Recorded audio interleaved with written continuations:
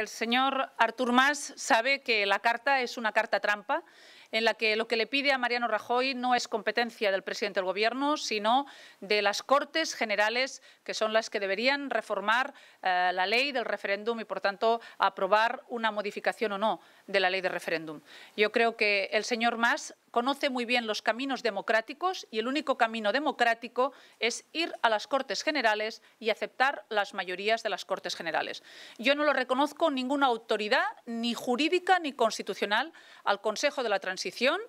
un grupo de personas eh, amigas independentistas que le han hecho unos informes al presidente de la Generalitat, pero que no tienen ninguna validez jurídica ni ninguna validez constitucional. Y, por tanto, esas propuestas eh, lo único que sirven es para que el señor Mas siga engañando al pueblo de Cataluña cuando la única posibilidad es cumplir la ley, cumplir el marco democrático y, si quiere hacerlo legítimamente, ir a las Cortes Generales y solicitar allí la modificación de la Constitución o la modificación de la ley del referéndum. Yo le diría al señor Mas que sabe que el Gobierno de España está haciendo un gran esfuerzo para establecer límites de déficit asimétricos y que el límite de déficit en Cataluña, si pudiera estar entre el 1,5 y el 1,7, habría sido un, un gran esfuerzo por parte del Gobierno de España y yo le animo a que deje las confrontaciones permanentes, a que se ponga a trabajar al servicio de los catalanes, que es tener un presupuesto aprobado y tenerlo con un límite de déficit que sea aprobado en el Consejo de Política Fiscal y Financiera.